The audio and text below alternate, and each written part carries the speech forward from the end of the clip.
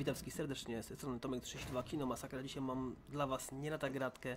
E, 10 sierpnia 2018 roku wychodzi film Demek. Jest to film, słuchajcie, o Megalodonie, e, czyli Karkadus Karkaden, wielki rekin prehistoryczny, który teoretycznie zginął, wymarł. Moim zdaniem osobiście on nie wymarł, gdzieś tam na pewno dzisiaj czai, a muszę nadmienić, że czekam na ten film, liczę na niego, bo w ostatnich czasach nie było nic dobrego o rekinach. A co wy myślicie? To jest moja zapowiedź pierwsza?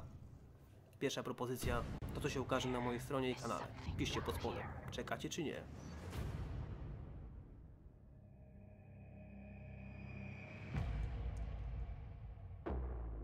Oh my god. It's Megalodon. He's kidding, right? Megalodons were thought to have been extinct. They're not getting eaten by some prehistoric fish. about this? Not really.